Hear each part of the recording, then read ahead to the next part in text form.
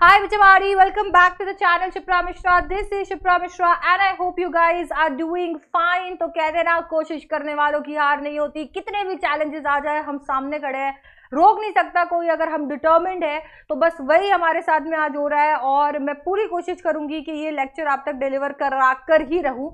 आपके लिए मैंने S D C cheat sheets भी बना दी है। ये जो शीट्स है, ये आपकी मदद करने वाली है पूरे के पूरे इंग्लिश को रिवाइज करने के लिए कम से कम समय के अंदर, कम से कम कॉन्टेंट के अंदर। और ये कॉन्टेंट हैंड रिटन है ओरिजिनल है, आपको कोई, कई किसी किताब से या फिर कहीं से नहीं लिया हुआ है। मेरे सारे के सारे लेक्चर्स का क्रक्स इसके अंदर है तो आपको पूरी मदद यहाँ पर मिलने वाली है अपने आंसर राइटिंग मीटिंग के अंदर तो फटाफट से पूरी इंग्लिश को खत्म करने के लिए हो जाते हैं तैयार फुल ऑन एनर्जी और जोश के साथ में।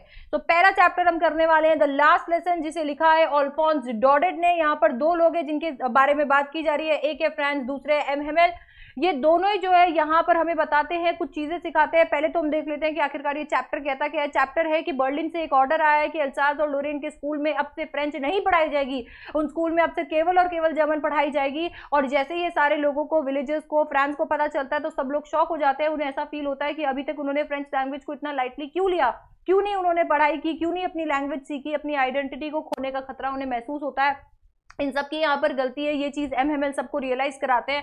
एंड फाइनली इस रियलाइजेशन के बाद में सारे के सारे लोग अपनी कंट्री को रिस्पेक्ट पे करने के लिए एक लास्ट लेसन के अंदर इकट्ठे होते हैं जुटते हैं। अपनी रिस्पेक्ट अपना ग्रेटिट्यूड एक्सप्रेस करने के लिए एम एम एल के चालीस सालों के लिए सब लोग इकट्ठे हो जाते हैं। एम एम एल यहाँ पर सबको ये पार्ट पढ़ाते हैं कि हमारी लैंग्वेज कितनी ज़्यादा इंपॉर्टेंट है कितना इंपॉर्टेंट है उसे गार्ड करके रखना ताकि हम आ, इस यू नो प्रिजन से हमेशा और हमेशा फ्री हो जाए। ये लास्ट लेसन हमें बहुत कुछ सिखाता है जैसे कि हमारी हमारी आइडेंटिटी और हमारा कल्चर बहुत ज़्यादा इंपॉर्टेंट है। हमारी मदर टंग हमारी आइडेंटिटी बनाती है। एजुकेशन किसी भी ऑपरेशन को फाइट कर सकता है। हमारे अंदर एक ह्यूमन टेंडेंसी होती है कि हम प्रोक्रेसिनेट करते रहते हैं, चीज़ों को कल तक टालते रहते हैं। इसके साथ साथ में कभी कभी जब चीज़ें हमारे पास बहुत ज़्यादा होती हैं तो हम उनकी वैल्यू नहीं करते हैं। खूबसूरती से टीचर स्टूडेंट रिलेशनशिप को भी यहाँ पर दर्शाया गया है। यहाँ पे मैंने ऐसे वर्ड्स भी ऐड कर दिए हैं, जो आपको अपने आंसर्स के अंदर लिखने चाहिए, ताकि से आपकी आंसर्स खूबसूरत बन सके। तो आप वर्ड्स लिख सकते हो drilling dread commotion abundance identity counted on thunder clap reproach vive la France यहाँ पर सबसे ज़्यादा इंपॉर्टेंट कैरेक्टर आपको फ्रांस देखने को मिलेगा और एमएमएल देखने को मिलेंगे। फ्रांस एक छोटा सा स्कूल बॉय है। अपने स्कूल से दूर भागता है स्टडीज़ से दूर भागता है, बाहर समय बिताना उसे बहुत पसंद है इधर उधर के कामों में टांग अड़ाना बहुत पसंद है एम को से डरता है, बहुत ही सेंसिटिव है फ्रेंड्स को लास्ट डे पे पसंद भी करता है, अपने ख्वाबों के अंदर खो जाता है, अपना यू नो रिग्रेट करता है, पछतावा उसको होता है कि उसने अटेंशन क्यों नहीं पे किया और प्रोक्रेस्टिनेटर है, सिर्फ़ और सिर्फ़ सोचता रहता है एक्ट कभी नहीं करता एमएमएल जो है वो एक स्कूल टीचर है, बहुत ही क्रैंकी और एरोगेंट है, लोगों को अपने डंडे की नोक पे रखते हैं, बहुत स्ट्रिक्ट है, कल, कोई भी चीज़ों को कल पर टालते रहते हैं टीचिंग को इतना सीरियसली नहीं लेते हैं। चालीस साल तक उन्होंने कंट्री को सर्व किया है इमोशनली स्ट्रांग है, पर कभी कभी सेंटिमेंटल भी हो जाते हैं। अपनी मिस्टेक्स को एक्सेप्ट करने की खूबी इनके अंदर है और अपनी लैंग्वेज से बेपनहा प्यार करते हैं। याद रखिएगा कि ये चैप्टर हमें एक और चीज़ सिखाता है और वो है फ़र्क लैंग्वेज के प्यार और लिंग्विस्टिक शॉवनिज्म में। लैंग्वेज का प्यार जो होता है वो एम एम एल वाला है और लिंग्विस्टिक चौबनिज्म में आप लैंग्वेज को किसी और के ऊपर थोप देते हो, जैसे कि बर्लिन ने किया अल्जाज और लोरेन के साथ में। आपको नेक्स्ट चैप्टर देखने को मिलता है लॉ स्प्रिंग जिसे लिखा है अनीस जंग ने। खास बात इस चैप्टर की ये है कि ये स्टोरीज ऑफ़ स्टोलन चाइल्डहुड नाम की एक किताब का एक्सर्प्ट है। यहाँ पर साहिब और मुकेश आपको दो प्रोटैगनिस्ट देखने को मिलेंगे। साहिब की स्टोरी जिसमें साहिब एक रैक पिकर है, ढाका से आया हुआ है और दिल्ली में सीमापुरी नाम की एक जगह पर रहता है। दस हज़ार रैक पिकर्स के साथ में जहाँ पर बेसिक एम्यूनिटीज भी इन लोगों को नहीं मिलती है। इनके पास इतना पैसा भी नहीं है कि पैर के अंदर चप्पल तक आता कि पहन ले। ये लोग परपेचुअल स्टेट ऑफ़ पावर्टी के अंदर फंसे हुए हैं, बेचारे ट्रांजिट होम्स के अंदर रहते हैं और इन्हीं के अंदर ये बच्चे पले बड़े होते हैं और रैक पिकर्स बन जाते हैं। Rag picking over a period of time इन लोगों के लिए आर्ट बन चुकी है। इन्हें मज़ा आता है, छोटे छोटे बच्चों को रैक पिकिंग करने में बहुत मज़ा आता है क्योंकि आखिरकार ही अपने मालिक खुद होते हैं, जब चाहे, जो चाहे कर सकते हैं। इन्हें ढाका जाना नहीं है, इन्हें नहीं चाहिए आइडेंटिटी क्योंकि इन्हें दो वक्त का खाना चाहिए। ये सारी चीज़ें जब हमें इनके बारे में पता चलती है तो हमें पता चलता है कि साहिब के भी बहुत सारे ख्वाब है, पर उन सारे ख्वाबों को क्रश कर दिया गया है, उसकी आइडेंटिटी को इंडिविजुअलिटी को क्रश कर दिया गया है, क्योंकि अब वो गरीबी के हाथों मजबूर होकर एक टी स्टॉल पर काम करने लगा है जहाँ पर उसे आठ सौ रुपए दिए जाते हैं दो वक्त का खाना दिया जाता है। ये सब तो उसे मिलता है पर उसका केयर फ्री लुक जो है वो जा चुका है। मुकेश की अगर हम बात करते हैं तो वो फिरोजाबाद से बिलोंग करता है बैंगल मेकर्स की खानदान से बिलोंग करता है। फिरोजाबाद जो कि ग्लास ब्लोइंग इंडस्ट्री का सेंटर है वहाँ पर सारे के सारे लोग बैंगल मेकिंग ही करते रहते हैं। इतना बैंगल मेकिंग करने के बावजूद भी आ, उन लोगों को पैसा नहीं मिलता मतलब उनकी आँखें जा चुकी है। बीस बच्चे वहाँ पर काम कर रहे हैं। हमारे देश का फ्यूचर वहाँ पर खराब हो जा रहा है। उसके बावजूद भी उन्हें पैसा नहीं मिलता है, इतना भी कि वो दो वक्त का खाना खा सके, ऐसा क्यों है? क्योंकि यहाँ पर एक विशेष साइकिल है। एक तरफ़ साहूकार से लेकर पॉलिटिशियन तक, सारे लोग उन्हें एक्सप्लॉइट करने पर तुले हुए हैं और दूसरी तरफ़ ये बैंगल मेकर्स इस एक्सप्लॉयटेशन से बाहर भी नहीं निकल सकते, किसी के अंदर हिम्मत ही नहीं है कि इससे बाहर निकल पाए। इसीलिए जब मुकेश अनीस जंग को बोलते हैं कि वो मोटर मैकेनिक बनना चाहते हैं तो अनीस जंग उसे देखकर बहुत ही खुश होती है। आपको यहाँ पे पावर्टी देखने को मिलेगा exploitation child labour loss of innocence अपने सपनों को मार देना, किसी तरीके का डेवलपमेंट नहीं है कास्ट का धब्बा, इसके साथ में विशिष्ट साइकिल ड्रीम देखने की एबिलिटी ना होना और दुनिया, एक तरफ़ ऐसे लोग हैं जो एक्सप्लॉइट करते हैं, दूसरी तरफ़ ऐसे लोग हैं जो एक्सप्लॉइट होते हैं। आपको ये सारा थीम यहाँ पर देखने को मिलेगा। इसके बाद में आपको यहाँ पर इस्तेमाल कर सकते हो इन वर्ड्स का अपने आंसर के अंदर, जैसे कि scrounging perpetual state of poverty wilderness transit home mirage hovels impoverish lament mind numbing toil stigma इन सब का इस्तेमाल करके अपने आंसर लिख सकते हो। दो सबसे ज़्यादा इंपॉर्टेंट कैरेक्टर्स है यहाँ पर। एक है साहिब और दूसरा है मुकेश। साहिब एक ड्रीमर है, उसको पढ़ाई करना पसंद है वो पढ़ नहीं सकता। वो आज़ाद है, मॉर्निंग बर्ड की तरह है, उसका नाम आयरॉनिक है, उसे टेनिस बहुत पसंद है, एक रैक पिकर है, ढाका से आया हुआ है केयर फ्री है, पर उसे एक्सप्लॉयट किया गया है। मुकेश भी एक ड्रीमर है, एक डिटर्मिंड इंसान है, अपने आप में भरोसा रखता है, बहुत ही हिम्मत वाला है, एक बैंगल मेकर है हार्ड वर्किंग है।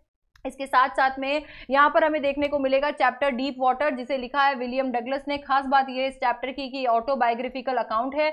इसके साथ साथ में ऑफ़ मैन एंड माउंटेन से लिया हुआ ये एक एक्सर्प्ट है। विलियम डगलस यहाँ पर अपनी खुद की आत्मकथा बताते हैं। बताते हैं कि किस तरीके से दस से ग्यारह साल की उम्र में उन्होंने स्विमिंग करने का डिसाइड किया था, अपने अवर्जन को फाइट करने का डिसाइड किया था। पर जैसे जैसे वो कंफर्टेबल होने लग गए थे, उनके साथ एक मिस एडवेंचर हुआ, एक बुली आया और आकर उन्होंने विलियम डगलस को पानी के डीपर एंड में डाल दिया था। वहाँ पर भी उन्होंने अपना डिटर्मिनेशन नहीं हारा। उन्होंने फाइट किया बाहर निकलने का, पर फिर भी वो बाहर नहीं निकल पाए थे। उसके बाद में जब उन्हें किसी ने बाहर निकाला तो सेवरल घंटों के बाद वो अपने घर जाने की हिम्मत जुटा पाए, क्योंकि उनके अंदर हिम्मत ही नहीं हो रही थी। इतना लाइफ थ्रेटनिंग एक्सपीरियंस उन्होंने यहाँ पर किया हुआ था। ये एक्सपीरियंस इतना ज़्यादा खतरनाक था कि थोड़ा सा भी अगर ये पानी के करीब जाते, थोड़ा भी एग्जर्शन उनके ऊपर आता तो उनके पाँव पैरालाइज हो जाते, उनका पेट खराब हो जाता। ये मेंटली और फिजिकली उन्हें टॉर्चर करने लग गया था। And that is why William Douglas ने अभी डिसाइड किया कि वो इस हैंडीकैप के साथ नहीं जिएँगे। और एक अक्टूबर उन्होंने एक स्विमर को स्विमर स्विमिंग इंस्ट्रक्टर को हायर किया कि मुझे आप स्विमिंग सिखाइए। अक्टूबर से लेकर अप्रैल तक उसने पीस बाय पीस उन्हें स्विमिंग सिखाई। विलियम डगलस अभी भी अपने आप से संतुष्ट नहीं थे। इस वजह से उन्होंने खुद अकेले में भी बहुत बार स्विमिंग सीखी ताकि से उनको अंदर सेटिस्फैक्शन आए। एंड फाइनली बहुत बार ये वेस्टेजेस जो है थे टेरर के वो लौटते थे पर वो उन्हें एक्सेप्ट करते थे उनका सामना करते थे उन्हें हर, हरा देते थे। फाइनली जब उन्होंने अपने डर को हरा दिया तो उन्हें रिलीज़ फील हुआ। ऐसा लगा जैसे कि अब वो आज़ाद हैं जो चाहे वो कर सकते हैं। उन्होंने हमें बताया कि हमें डर तो मौत से लगता है और हमें अगर डरना चाहिए अगर हराना चाहिए तो डर को हराना चाहिए। क्योंकि मैंने यहाँ पर मौत और उसका प्रोड्यूस किया हुआ डर दोनों फेस किया था तो मेरी जीने की इच्छा जो है वो बढ़ गई थी। इसके साथ में वो हमें ये भी यहाँ पर बताने की कोशिश करते हैं कि किस तरीके से अपने फियर को ओवरकम करना बहुत ज़्यादा ज़रूरी है। टीम में आपको देखने को मिलेगा किस तरीके से उनके अंदर इच्छा है कुछ भी सीखने की। यहाँ पर अवर्जन डर को लेकर हमारे बात की गई है चाइल्डहुड फियर्स को लेकर बात की गई है बुलिंग को लेकर बात की गई है, पानी का डर या आमतौर पर डर के बारे में बात की गई है। दृढ़ता की हमें लड़ना है। पेशेंस को लेकर बात की गई है मौत के डर को लेकर बात की गई है। All we have to fear is fear itself then overcoming fear कि किस तरीके से हमें हमारे डर को हराना चाहिए। एंड फाइनली परजीवरेंस हार नहीं माननी है बच्चों। यहाँ पर सबसे ज़्यादा इंपॉर्टेंट कैरेक्टर है विलियम डगलस जो कि एक एस्पिरेंट है। उनके अंदर डिटर्मिनेशन है। वो डरते हैं पानी से, पर बहुत ही डिलीजेंट है। परसिस्टेंट है, हार नहीं मानेंगे। हार्ड वर्किंग है सेंसिटिव है, एक बहुत अच्छे लर्नर है फाइटर है। उनके अंदर विल पावर है, वो ब्रेव है करेजियस है, दृढ़ है और पेशेंट है। जितना मर्ज़ी उन्हें टाइम लगे, पर अगर वो उनको डर को हराना है तो डर को हरा कर ही रहेंगे। आप कुछ वर्ड्स जो अपने आंसर्स के अंदर यूज़ कर सकते हो, वो है treacherous misadventure bruiser oblivion piece by piece vestiges all we have to fear is fear itself सबसे ज़्यादा बड़ी प्रॉब्लम बच्चों को ये आती है कि उन्हें पानी के नाम याद नहीं होते हैं तो आप तीन तरीके के पानी के नाम याद कर सकते हो। सबसे पहला कैस्केट वाटरफॉल जहाँ से उन्हें अंदर ये विल आया था कि नहीं, मुझे भी अभी सारे के सारे वाटर स्पॉट्स को एंजॉय करना है। And then Lake Wentworth New Hampshire and Lake Warm Lake Gilbert peak वाला जो है आपको याद करना है, क्योंकि इन दोनों पानियों ने कहीं ना कहीं उन्हें अपना वो सेटिस्फैक्शन की अभी उन्हें स्विमिंग आ गई है, वो दिया था ओवरकम किया था उन्होंने अपने डर को यहाँ पर। नेक्स्ट चैप्टर है हमारा रैट रैप रैट रैप जिस किसने लिखा है? सेल्मा लेगर लॉफ ने लिखा है। खास बात इस चैप्टर की ये है कि इसे फेरी टेल मैनर के अंदर नरेट किया गया है। दो लोग इसके अंदर सबसे ज़्यादा इंपॉर्टेंट है रैट रैप सेलर और Edla Willmansson rat trap seller एक यू नो इधर दर बदर भटकता हुआ इंसान है जो कि इधर उधर प्लॉट करता रहता है सोचता रहता है रैट रैप बेचता फिरता है बट इसके साथ में पता है उसे कभी भी इतना यू नो ऐसा नहीं है कि उसके उसने इतना कमा लिया है कि उसके दो वक्त का गुजारा हो गया इसी वजह से उसे चोरी चकारी करनी पड़ती है कभी कभी वो भीख भी मांग लेता है। अब ऐसे के अंदर आ, वो बेचारा इतना ज़्यादा अकेला है कि सिर्फ़ और सिर्फ़ कुछ ना कुछ सोचता रहता है। एक दिन उसके दिमाग के अंदर एक थॉट आता है कि कैसे ये पूरी की पूरी दुनिया सिर्फ़ और सिर्फ़ एक रैट रैप है। हम लोग सिर्फ़ और सिर्फ़ लालचों के पीछे भागे जा रहे हैं और हम इतने लालची होते जा रहे हैं कि हम जैसे किसी एक चीज़ के पीछे भागते हैं, हमें वो चीज़ जकड़ देती है और फिर हम बस एक ट्रैप में फंस जाते हैं। ये सोचते सोचते एक दिन वो एक ग्रे कॉटेज के सामने आ जाता है, जहाँ पर वो जाकर रहने की जगह माँगता है। क्रॉफ्टर उसे अलाउ भी कर देता है। इनफैक्ट बहुत जेनरसली उसे ट्रीट करता है, पर वो क्या करता है क्रॉफ्टर के साथ में? धोखा। वो उसके घर पर ही चोरी करता है और भाग जाता है। अपनी स्मार्टनेस से प्लीज़ होकर वो एकदम फॉरेस्ट की तरफ़ चला जाता है, पर उसे तो क्या पता था कि वो एक ट्रैप में फंसने वाला है, क्योंकि इसके बाद में वो इस फॉरेस्ट से निकल नहीं पाता है। उसे जैसे ही एक आयन वर्क मिलता है, वो वहाँ पर जाता है और वहाँ पर एक आयन मास्टर आता है, जो उसे मिस्टेक कर लेता है नील्स अलॉफ के नाम से, अपने एक दोस्त के नाम से। वो मना नहीं करता है, उसे लगता है कि थोड़े बहुत पैसे मिल जाएँगे बट देन उसके बाद में वो पैसे तो नहीं देता है, उसे घर के ऊपर घर पे इनवाइट करता है। वो मना कर देता है तो वो अपनी बड़ी बेटी एडला विलमेंसन को बेचता है, जिसने, जिसके कंपैशन से खुश होकर रैट रैप सेलर उसके साथ में घर तो चला जाता है। अब उसे नहीं पता है आगे क्या होने वाला है। अगले ही दिन उसका भांडा फूट जाता है, सबको पता चल जाता है कि वो रैट रैप सेलर है, ना कि नील्स अलॉफ है। इसके बाद में एडला यहाँ पर इंटरसीड करती है और बोलती है कि हमें इसे, हमने इसे प्रॉमिस किया है कि हम इसे क्रिसमस चेयर देंगे तो हमें इसे क्रिसमस के लिए यहाँ पर रखना चाहिए। उसकी यू नो काइंडनेस उसका कंपैशन देखकर वो एकदम से इंट्रीक फील करता है कि आखिरकार ऐसा क्यों कर रही है ये। बट देन उसके बाद में आराम से क्रिसमस सेलिब्रेट करता है, खाता है और सोता है। इनफैक्ट उसे गिफ्ट में सूट और अगले बार क्रिसमस यहाँ पर वो सेलिब्रेट कर सकता है। इतनी लिबर्टी भी मिलती है। वो ये सारी चीज़ों के बारे में, इन सारी चीज़ों को ऑब्ज़र्व करता रहता है, पर साइलेंट रहता है। अगले दिन जब चर्च के अंदर एडला और उसके पापा को पता चलता है कि क्रॉफ्टर के घर पे चोरी हुई है और चोरी चोरी करने वाला इंसान जो है वो एक रैट रैप सेलर है तो उन्हें डर लगता है कि उनके घर पर भी चोरी हुई होगी। एडला को डर लगता है कि कहीं उसका भरोसा तो नहीं टूट जाएगा, पर जैसे वो घर जाते हैं तो उन्हें पता चलता है कि रैट रैप सेलर ने कुछ भी नहीं चुराया। इनफैक्ट वो कुछ देकर गया एडला विलमेंसन को, जिसके अंदर उसने एक रैट रैप रैट रैप के अंदर थर्टी क्रॉनर और एक लेटर डाला है, जिसके अंदर ये लिखा हुआ था कि तुमने मुझे कैप्टन के जैसे ट्रीट किया तो मैं तुम्हें आज एम्बेरस नहीं करूँगा। ये तीस क्रॉनर उस क्रॉफ्टर को दे देना और ये रैट ट्रैप उस रैट की तरफ़ से है जिसे तुमने रिडीम किया है। तो हमें इससे क्या पता चलता है? इससे हमें पता चलता है कि किस तरीके से आइसोलेशन और लोनलीनेस किसी इंसान को पागल कर सकती है। कम्युनिटी कितनी ज़्यादा इंपॉर्टेंट है। ये दुनिया सच में एक रैट ट्रैप है। सेकेंड चांसेस हमें देने चाहिए। हमें लोगों को माफ़ करना चाहिए। काइंडनेस प्यार और ट्रस्ट से इंसान के सोल को बदला जा सकता है। रिडीम किया जा सकता है। हर एक इंसान में कोई ना कोई अच्छाई होती है। बच्चावारी कुछ वर्ड्स जो कि आप अपने आंसर्स के अंदर लिख सकते हो, जैसे कि vagabond fallen to line of thoughts baits crofter impenetrable prison regiment manor house captain von Stahle redemption अच्छा कैरेक्टर में सबसे ज़्यादा इंपॉर्टेंट कैरेक्टर रैट्रैप सेलर है, और उसके बाद में आपको एडला विलमेंसन देखने को मिलेगी। रैट्रैप सेलर एक वैगाबॉन्ड है लोनली इंसान है, गरीब है, बेचारा भिकारी है चोर भी है, नफरत करता है इस दुनिया से, खोया रहता है कॉन्टेम्पलेट करता रहता है, अपने ही अंदर सेल्फ सेंटर्ड है तो सिनिकल भी है अपॉर्चुनिस्टिक है बहुत ही लालची है, उसको डर लगता रहता है कि उसे कोई पकड़ लेगा, बहुत ही मिजरेबल कंडीशन है उसकी, बेचारा खाना भी अच्छे से नहीं खा पाया है एंड इसके साथ में कभी कभी वो रिडम्शन चाहता है, वो चाहता है कि उसे रिडीम कर लिया जाए, उसे यू नो बस बचा ले कोई, अंदर ही अंदर वो ये चाह रहा है। अच्छा एडला जो कि बहुत ही काइंड है कंपैशनेट है, बहुत ही ज़्यादा मॉडेस्ट है, आप देखोगे बहुत ही शर्मीली है, बिल्कुल भी खूबसूरत नहीं है, पर बिल्कुल माफ़ करना जानती है, लोगों को कन्विंस कर सकती है। उसके पास में परजुएशन की स्किल्स है। इसके साथ साथ में उसे अच्छा लगता है अगर उसके घर पर कोई आता है। वो बेचारी भी लोनली है, लोगों पर इजिली भरोसा कर लेती है कंसिडरेट नेचर की है, दयावान है बहुत ज़्यादा। नेक्स्ट चैप्टर आपका जो है वो है इंडिगो जिसको लुई फिशर ने लिखा है। इसकी खास बात यह है कि ये बायोग्राफिकल अकाउंट है। लाइफ ऑफ़ महात्मा गांधी से लिया हुआ एक एक्सर्प्ट है। इस चैप्टर के अंदर हमें पता चलता है कि किस तरीके से महात्मा गांधी जी जो है वो इंडिया में आए थे 1915 के अंदर। और उसके बाद में एक नेशनल कॉन्वेंशन के अंदर गए और वहाँ पर वो राजकुमार शुक्ला से मिले जहाँ उन्हें पता चला कि चंपारण के शेयर क्रॉपर्स के साथ में अच्छा नहीं व्यवहार किया जा रहा है।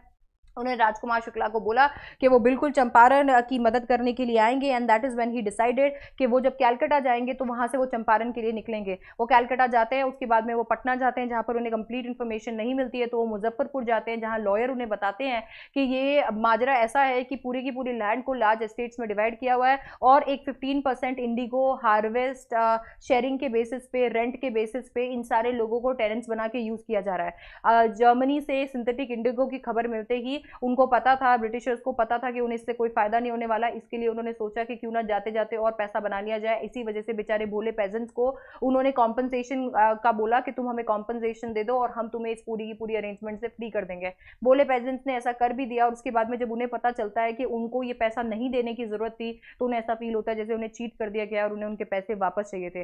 गांधी जी डिसाइड करते हैं कि यार इनको तो लॉ कोर्ट्स बिल्कुल मदद ही नहीं कर सकती है। अगर इन्हें फ्री करना है तो इन्हें डर से फ्री करना है और अपना जो पूरा कह सकते हैं अभियान है, डर से इनको फ्री करने का वो शुरू कर देते हैं। इसके लिए फिर वो फाइनली क्या करते हैं, वो जाते हैं मोतीहारी। अच्छा इसके लिए वो पूरे ऐसे इन्फॉर्मेशन कलेक्ट करने की कोशिश करते हैं तो उन्हें बहुत ज़्यादा यू नो बुली किया जाता है। फिर फाइनली वो इन इन सारी बुलीज से हटकर मोतीहारी जाते हैं, वहाँ से अपना हेडक्वार्टर बनाकर काम करना शुरू करते हैं। और इतने में पता है क्या होता है, इतने के अंदर उनको अगेन बुली करने के लिए बोला जाता है कि चुपचाप चंपारण छोड़कर चले जाओ, गांधी जी मना कर देते हैं, कहीं नहीं जाऊँगा चंपारण छोड़कर। अगले ही दिन उन्हें कोर्ट में बुला लिया जाता है।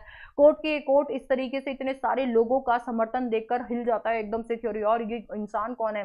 गांधी जी वहाँ जाते हैं और जाकर बोलते हैं कि मैं नेशनल ड्यूटी पे था, मुझसे गलती हुई है, आप मुझे पेनल्टी बता दीजिए, मैं पेनल्टी भर देता हूँ तो इतने में जज एकदम से बैफल हो जाता है, सोचता है यार, ये इंसान कहाँ से आया है? एंड देन उसके बाद में उन्हें फ्री कर दिया जाता है। महात्मा गांधी जी को अभी नहीं पता है कि ये सारे के सारे लोग डर गए महात्मा गांधी जी यहाँ पर इस चीज़ का इंतज़ाम कर रहे हैं कि अगर उन्हें जेल हो गई तो फिर क्या होगा?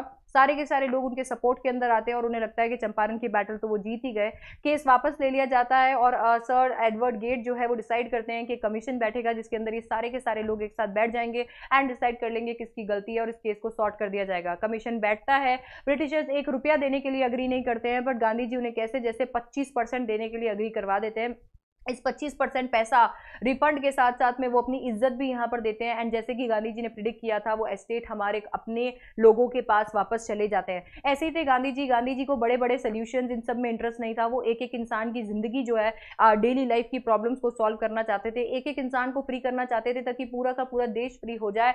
उनके लॉयल्टी लोगों के साथ थी। एब्स्ट्रैक्शन के साथ उनकी कोई लॉयल्टी नहीं थी। जैसे इसीलिए उन्होंने जब देखा कि चंपारण के अंदर सोशल और कल्चरल बैकवर्डनेस है तो उन्होंने उसके लिए भी कुछ करने का डिसाइड किया। उनकी मदद के लिए बहुत सारे टीचर्स डॉक्टर उनकी बीवी, उनका छोटा बेटा भी वहाँ पर आए। इसी एपिसोड के अंदर हमें पता चलता है कि सी एफ़ एंड्रयूज जो कि गांधी जी के कट्टर भक्त थे, वो वहाँ पर आते हैं गांधी जी से मिलने के लिए। और राजेंद्र प्रसाद को ऐसा लगता है कि क्यों नहीं इनका इस्तेमाल कर लिया जाए अपने तरफ़ यू नो थोड़ा सा अपना पलड़ा भारी करने के लिए। तो गांधी जी उन्हें समझाते हैं कि तुम सेल्फ रिलायंट बनो, आत्मनिर्भर बनो। अगर तुम सच के लिए लड़ाई कर रहे हो तो तुम्हें किसी और चीज़ की ज़रूरत नहीं है। फाइनली ये चीज़ हमें पता चलती है। हमें यहाँ पर क्या पता चलता है कि किस तरीके से इफ़ेक्टिव लीडरशिप के चलते हम किसी भी जंग को जीत सकते हैं। यहाँ पर इनजस्टिस के बारे में बात की गई है, जो शेयर क्रॉपर्स के साथ हो रही थी।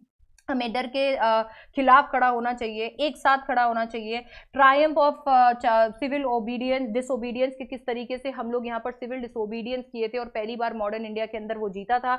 इसके साथ में यू नो, सत्याग्रह, यानी कि ट्रूथ में कितनी ज़्यादा सच्चाई होती है। हमें पॉलिटिकल व्यूज़ पता चलते हैं गांधी जी के, नॉन कोऑपरेशन और सेल्फ रिलायंस के बारे में भी हमें यहाँ पर पता चलता है। ऐसे वर्ड जो आप अपने आंसर्स में लिख सकते हो, advent cheated synthetic indigo, it's some conflict of duties deposition alleviate intertwined intertwined uh, then इसके बाद में पैसिफिस्ट सेल्फ रिलायंट इन वर्ड से अपने आंसर्स को और बेहतर बना सकते हो। महात्मा गांधी जी आपको एक कैरेक्टर यहाँ पर देखने को मिलेंगे जो सबसे इंपॉर्टेंट है लीडर है, इसके साथ में ब्रेव है प्रैक्टिकल है डिलीजेंट है दूसरों के बारे में सोचते हैं नेशनलिस्ट है, एक एडवोकेट है पोलाइटली बात करते हैं भरोसा रखते हैं सच के अंदर हम्बल है ह्यूमन बींग्स के लिए लॉयल है सेल्फ रिलायंस में भरोसा रखते हैं। जबकि अगर राजकुमार शुक्ला की अगर हम बात करें तो राजकुमार शुक्ला डिटर्मिंड है परजीवरेंस परजीवरेंस रखते हैं, हार नहीं मानते हैं रेजोल्यूट है हाँ पढ़े लिखे नहीं है गरीब है, बेचारे पतले दुबले से हैं बट लड़ाई के लिए उनका हौसला उतना ही दृढ़ है। इसके बाद में पोएट्स एंड पैनकेक्स है, जिसे लिखा है अशोका मित्रन ने। यहाँ पर खास बात यह है कि ये ह्यूमरस अकाउंट है ऑटोबायोग्राफिकल अकाउंट है।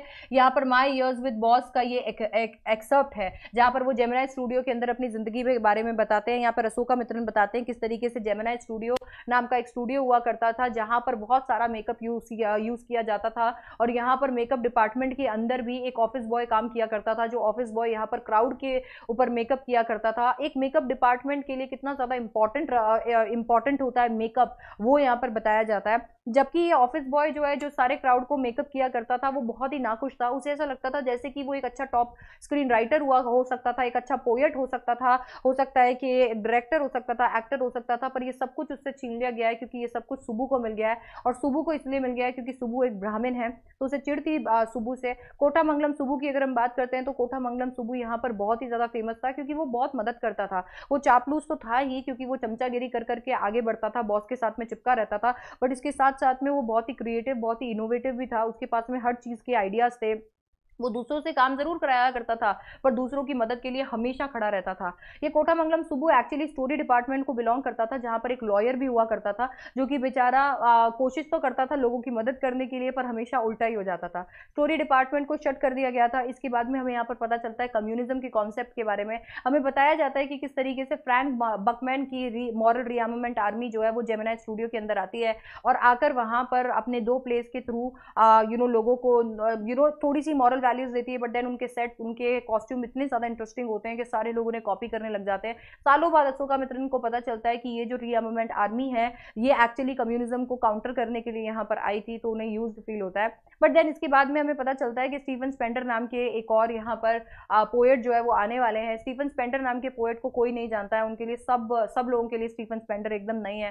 फाइनली इसके बाद में क्या होता है? इसके बाद में स्टीफन स्पेंडर वहाँ पर आते हैं, लोग उनको गुमनाम समझते हैं, पता ही नहीं है कौन है। वो आते हैं, आकर स्पीच देते हैं, सारे लोग एकदम बैफल बैफल रहते हैं, उन्हें समझ ही नहीं आता वो क्या कह रहे हैं। एक मिस्ट्री रह जाती है वो बट उसके बाद में अशोका मित्रन जी जब एक बार प्रोस राइटिंग का अपना आर्टिकल सबमिट करने के लिए द एनकाउंटर नाम की मैगजीन के लिए ब्रिटिश लाइब्रेरी जाते हैं तो उन्हें द एनकाउंटर के एडिटर में स्टीफन स्पेंडर का नाम देखने को मिलता है एंड दैट इज़ हाउ उन्हें पता चलता है, अरे हाँ ये तो मेरा देखा हुआ है, ये तो वही पोएट है। अभी भी मिस्ट्री सॉल्व नहीं हुई थी कि वो वहाँ पर आए क्यों थे। देन उसके बाद में जब उनकी जॉब चली जाती है दैट मीन्स वो रिटायर हो जाते हैं। उसके बाद में वो थोड़ी बहुत कभी की कुछ किताबें, कुछ भी सस्ती चीज़ें लेते रहते हैं। तो एक बार उन्हें पचास पैसे के अंदर एक किताब मिल रही होती है द गॉड दैट फेल्ड और उस किताब को जैसे वो खरीद लेते हैं तो वहाँ पर उन्हें स्टीफन स्पेंडर का नाम देखने को मिलता है। वो किताब बताती है कि किस तरीके से ये सारे के सारे लोग जो है वो कम्युनिज्म में गए एंड कम्युनिज्म से बाहर निकले। तब जाके उन्हें पता चलता है कि अच्छा स्टीफन स्पेंडर भी यहाँ पर कम्युनिज्म के बारे में बात करने आए थे। तो आपको यहाँ पर थीम देखने को मिलेगा। इंडियन सिनेमा सिनेमा के अर्ली डेज़ पता चलेंगे फ़िल्म इंडस्ट्री के बारे में पता चलेगा राइवलरी जेलिसी के बारे में पता चलेगा कास्टिज्म का कीड़ा यहाँ पर आपको देखने को मिलेगा, बहुत सारी पॉलिटिकल आइडियोलॉजीज देखने को मिलेगी कम्युनिज्म काउंटर कम्युनिज्म की लड़ाई आपको यहाँ पर देखने को मिलेगी, किस तरीके से पोएट्स और राइटर्स की दुनिया है वो आपको यहाँ पर पता चलती है। आपको सबसे ज़्यादा इंपॉर्टेंट स्टीफन स्पेंडर जो कि एक मिस्टीरियस पोएट है, ये भी यहाँ पर देखने को मिलता है। आप वर्ड्स यूज़ कर सकते हो enlightened improvident communist bafflement eminent इन शब्दों का इस्तेमाल करके अपने आंसर लिख सकते हो। दो इंपॉर्टेंट कैरेक्टर्स आपको देखने को मिलेंगे। एक इंपॉर्टेंट कैरेक्टर है ऑफ़िस बॉय दूसरा है कोठा मंगलम सुबू ऑफ़िस बॉय यहाँ पर आप देखोगे कि क्राउड को पेंट करता है, बहुत ही जेलस है सुबू से चिड़ता है एक्टर डायरेक्टर स्क्रीन राइटर बनना चाहता है पोएट है फ्रस्ट्रेटेड है, अपने एंगर को सुबू के टूवर्ड्स निकालता रहता है। कोटा मंगलम सुबू नंबर टू है चीयरफुल है रिसोर्सफुल है चैरिटेबल है लविंग है, एक बहुत ही अच्छा एक्टर है पोएट है नॉवलिस्ट है साइकोफैंट है, चमचागिरी करता है। क्रिएटिव है इनोवेटिव है। इम्प्रोविडेंट है, बिल्कुल नहीं सोचता कि मेरे पास कितना पैसा बचेगा, नहीं बचेगा। जब दूसरों की मदद करने की बात आती है तो मदद कर देता है। नेक्स्ट चैप्टर आपका जो है वो है द इंटरव्यू द इंटरव्यू को किसने लिखा है? क्रिस्टोफर सिल्वेस्टर ने लिखा है। क्रिस्टोफर सिल्वेस्टर का ये जो चैप्टर है, ये एक्सर्प्ट है पेंगविन बुक ऑफ़ इंटरव्यू का। यहाँ पर थीम की अगर हम बात करते हैं एक्चुअली इस पूरे के पूरे चैप्टर के अंदर, पहले पार्ट के अंदर ये बताया गया है कि इंटरव्यू किस तरीके से, उसके पॉजिटिव साइड में बताया हुआ है कि वो एक तरीके के आर्ट है, एक सोर्स ऑफ़ ट्रूथ है। जबकि नेगेटिव साइड के अंदर उसे इंट्रूजन के जैसे बताया गया है कि लोगों की प्राइवेट लाइफ के अंदर एक इंट्रूजन है एक दखल अंदाजी है। यहाँ पर बहुत सारे लोग इसके लिए आवाज़ उठाते हैं और उन बहुत सारे लोगों में आते हैं। V S Naipaul Lewis Carroll Rudyard Kipling H G Wells Saul Bellow Dennis Brian सारे के सारे लोग जो है यहाँ पर बताते हैं कि किस तरीके से इंटरव्यू जो है उन्हें वूंड कर देता है, उन्हें घायल कर देता है। इसके बाद में हमें दूसरे पार्ट के अंदर ये पता चलता है कि उम्बर्टो ईको बहुत ही हँसते खेलते, बहुत ही अच्छी तरीके से इंटरव्यू देते हैं। एक एग्ज़ाम्पल हमें यहाँ पर उनके थ्रू देखने को मिलता है कि इंटरव्यू अच्छे से भी दिए जा सकते हैं। इनफैक्ट अगर आप बिल्कुल ही इंटरव्यू देते हो और आप बहुत स्मार्ट तरीके से इंटरव्यू देते हो तो आप सामने वाले के क्वेश्चन को पहले से ही डिसाइड कर सकते हो। तो ये चीज़ हमें यहाँ पर पता चलती है। हमें पता चलता है कि किस तरीके से उम्बर्टो ईको जो है वो बहुत ही अच्छे एक एक स्कॉलर है सेमी के। इसके साथ में आप देखोगे वो प्रोफेसर है यूनिवर्सिटी पे नॉवलिस्ट है, बहुत ही पोलाइट है हम्बल है डाउन टू अर्थ है। उनका फिलोसफिकल इंटरेस्ट आपको देखने को मिलेगा यू नो यहाँ पर। साथ ही साथ में नॉन वायलेंस पीस को प्रमोट करते हैं। उनका पर्सनल और प्लेफुल स्टाइल है लिखने का। उन्हें नरेशन बहुत ज़्यादा पसंद है। बिल्कुल भी फेंकते नहीं है। बहुत ही प्रैक्टिकल है। एक्सीडेंटल नॉवलिस्ट बन चुके हैं। एक अकेडमिशन है। उन्होंने कमाल की नॉवल लिखी है जिसका नाम है the Name of the Rose जो कि फ़ेमस हो गई है। दस से पंद्रह मिलियन कॉपीज वहाँ पर बेची है और इसी वजह से आ, उनका इंटरव्यू जो है वो लिया गया है। तो हम लोग इस चैप्टर से क्या सीखते हैं? चैप्टर से सीखते हैं कि इंटरव्यू एक कम्युनिकेशन जॉनरे है। हम देखते हैं कि किस तरीके से एक तरफ़ इंटरव्यू की तारीफें हो रही होती है दूसरी तरफ़ इंटरव्यू की नेगेटिव बातें हमें पता चलती है और साथ ही साथ में हमने यहाँ पर अम्बर्टो ईको का इंटरव्यू भी देखा। कुछ वर्ड जिनका आप इस्तेमाल कर सकते हो, वो है unwarranted lionize condemnatory थॉम्प्रिंस on win price serviceable medium hypothesis metaphysics theology the Name of the Rose इन सब का इस्तेमाल अपने आंसर्स में ज़रूर कीजिएगा। नेक्स्ट चैप्टर है गोइंग प्लेसेस जिसे लिखा है ए आर बार्टन ने। ए आर बार्टन ने इस चैप्टर को बहुत ही अच्छी तरीके से लिखा है। यहाँ पर आपको आ, सच में इमेजिन करवाया है जो सोफी इमेजिन करती है। इस चैप्टर के अंदर आपकी प्रोटैगनिस्ट सोफी है। अब सोफी एक टीनेज गर्ल है जो कि यहाँ पर हीरो वर्शिप करती है। जो कि यहाँ पर इमेजिनेशन की दुनिया के अंदर जाती है जो कि रियलिटी से कोसों दूर है। लोअर मिडिल क्लास से आने वाली सोफी जो है वो उम्मीद करती है ड्रीम करती है कि वो अब एक बार कभी बुटीक खोलेगी एक मैनेजर बनेगी एक्ट्रेस बनेगी। या फिर हम कह सकते हैं कि उसको ये उम्मीद है कि वो एक दिन जो है पैसे वाली बनने वाली है और दुनिया का, देश का और सिटी का सॉरी सबसे बड़ा बुटीक खोलने वाली है। रियलिटी तो ये है कि उसका घर भी एक डिसेंट घर नहीं है और वो अपने घर वालों से इतनी ज़्यादा कनेक्टेड नहीं है। सिर्फ़ एक ही इंसान है जिसका उसे अटेंशन चाहिए होता है और जिसके साथ में वो कनेक्टेड है और वो है उसका बड़ा भाई जियो अब वो जियोफ का टेंशन सीख करने के लिए उससे झूठ बोलती है कि वो उसके फेवरेट फुटबॉल प्लेयर डैनी कैसी से मिली है। जियोफ बेचारा इस बात पर यकीन करना चाहता है, पर किसी को सोफी की बात पर यकीन आए तो कैसे आए? क्योंकि सोफी तो बहुत ज़्यादा वाइल्ड स्टोरीज बनाती है। वो यहाँ पर ये स्टोरी बनाती है कि एक दिन वो बाज़ार में खड़ी हुई थी और उसे डैनी कैसी मिल गया। उन दोनों ने बात की और डैनी कैसी ने उसे डेट पर पूछा। हकीकत ऐसी बिल्कुल भी नहीं थी, डैनी कैसी को उसने सिर्फ़ और सिर्फ़ सैटरडे को एक मैच के अंदर देखा था and that was it Jansie जो कि उसकी बेस्ट फ्रेंड है, बहुत ही ज़्यादा डाउन टू अर्थ है, बहुत ही ज़्यादा रियलिस्टिक है, वो उसे जब इसके बारे में पूछती है तो वो उससे भी झूठ बोलती है। इसके बाद में वो सच में डेट पर चली जाती है, ये सोच के कि सच में वहाँ पर डैनी कैसी आएगा। रियलिटी तो आपको और मेरे को दोनों को पता है कि डैनी कैसी वहाँ पर नहीं आने वाला है बट वो पूरा रोलर कोस्टर जो इमोशंस का है, वो फील करती है, वो फील करती है कि डैनी कैसी वहाँ पर आया एट द सेम टाइम वो ये भी फील करती है कि डैनी कैसी जो है, वहाँ पर नहीं आया, वो टूटा हुआ फील करती है सैड फील करती है उसे ऐसा लगता है कि उसके भाई को वो क्या जवाब देगी। सारे लोग हमेशा उसे झूठा मानते हैं कभी उस पर यकीन नहीं करते और अब तो मुझ पर वो बिल्कुल भी यकीन नहीं करेंगे। ये सोचते सोचते जब वो घर जा रही होती है तो फिर से इमेजिन कर लेती है डैनी केसी के साथ में अपनी मीटिंग को। इमेजिन करती है कि कितना खूबसूरत वो दिखता है उसकी आँखें कितनी जेंटल है। आ, वो एक प्रोडजी है कितना महान है डैनी कैसी हकीकत तो यह है कि उसने सिर्फ़ और सिर्फ़ उसे मैच के अंदर देखा है। तो ये चैप्टर बात करता है अडोलसन की फैंटेसाइजिंग को लेकर हीरो वर्शिपिंग को लेकर, किस तरीके से लोग खुले आँखों से सपने देखते हैं यंग जनरेशन कितनी एस्पिरेशनल हो सकती है अनफुलफिल्ड प्रोमिस और ड्रीम्स का दर्द क्या होता है फैमिली की रिलेशनशिप्स के बारे में ये बात करता है अटेंशन सीकिंग के बारे में बात करता है and also lower middle class family और हाउस होल्ड के अंदर जो जो चीज़ें चल रही होती है, जो जो चोर्स होते हैं, उनके बारे में भी ये बात करता है। सोफी जो कि यहाँ की मेन कैरेक्टर है, उसमें हमने पता चलता है कि सोफी एम्बिशियस है लोअर मिडिल क्लास फैमिली को बिलोंग करती है डे ड्रीमर है रियलिटी से कोसों दूर है वाइल्ड स्टोरीज बनाती है अटेंशन सीकर है, अकेली है, बिल्कुल भी सेंसिबल नहीं है डेनी कैसी से प्यार करती है। बहुत ही ऑब्जर्वेंट है रिज़र्व नेचर की है इमेजिनेटिव बहुत है और बहुत ही ज़्यादा इमोशनल है। आप यहाँ पर वर्ड्स का इस्तेमाल कर सकते हो, जैसे कि बुटीक हो गया इनकॉन्ग्रिटी हो गया अरकाड हो गया प्रोडजी हो गया नोजी हो गया पैंग्स ऑफ़ डाउट्स हो गया। नेक्स्ट माई मदर एट 66 जिसे कमला दास ने लिखा है, उसकी खास बात यह है कि एक एंजाममेंट है। दैट मीन्स इसे सिंगल सेंटेंस के अंदर लिखा गया है और 14 लाइन के अंदर उसे कंप्लीट कर दिया गया है। इसकी खूबसूरती, इसकी सिमलीज के अंदर भी आपको देखने को मिलेगी। ये एक ऐसी पोम है जहाँ पर हमें बताया जाता है कि कैसे एक बेटी अपनी माँ को देखती है, बूढ़ा होते हुए, और देखती है कि किस तरीके से दिन बर दिन वो बूढ़ी होती जा रही है और एक दिन इसी तरीके से वो उनसे दूर हो जाएँगी। अपने माँ बाप के बारे में ऐसा सोचना बहुत ही ज़्यादा दुख भरा हो सकता है एंड दैट इज़ वाई वो अपने आप को डिस्ट्रैक्ट करने की कोशिश करती है बट वो डिस्ट्रैक्टेड नहीं हो पाती है। जब अपनी मम्मी को देखती है तो देखती है कि किस तरीके से वो उदास हो चुकी है, डल हो चुकी है, उनका चाम जा चुका है। ऐसा लगता है जैसे कि शायद जब वापस आएँगी तो शायद अपनी मम्मी से कभी मिल भी नहीं पाएँगी एंड दैट इज़ वैन एकदम से एक फियर एक अजीब सा डर, एक अजीब सा दर्द उनके अंदर आ जाता है, पर अपनी मम्मा को वो चीज़ वो नहीं दिखा पाती है और एक हॉलो सी स्माइल करती है और अपनी मम्मा को ऑप्टिमिस्टिकली गुड बाय बोल देती है। यहाँ पर हमें पता चलता है ह्यूमन रिलेशनशिप कितनी ज़्यादा कॉम्प्लेक्स हो सकती है, किस तरीके से रिस्पॉन्सिबिलिटीज़ में कॉन्फ्लिक्ट आ सकता है कि ये करूँ या ये करूँ। एजिंग एक रियल चीज़ है, ये हमें पता चलता है। दुनिया का एक ही सत्य है और वो है डेथ हमें ये भी पता चलता है कि किस तरीके से बेचारे एल्डरली जो है, वो जैसे जैसे बूढ़े होते जाते हैं, उन्हें अकेला छोड़ दिया जाता है, उनके पास में केयर या कंपनी कुछ नहीं होता है। यहाँ पर हमें सेपरेशन के पेन को भी एहसास करवाया जाता है कि किस तरीके से अगर हमसे हमारे लव्ड वंस कभी दूर हो जाएँगे तो हम कितना ज़्यादा टूटा हुआ फील करेंगे। यहाँ पर आपको बहुत सारे पोएटिक डिवाइसेस देखने को मिलेंगे, जैसे सिमिली देखने को मिलेगा हर face ashen like that of corpse में, और सोनिफिकेशन देखने को मिलेगा यंग ट्रीज में इमेजरी यंग ट्रीज और मेरी चिल्ड्रन में देखने को मिलेगा कॉन्ट्रास्ट मेरी चिल्ड्रन में देखने को मिलेगा सिमिली देखने को मिलेगा as a late winter moon में रेपिटेशन देखने को मिलेगा स्माइल स्माइल स्माइल में।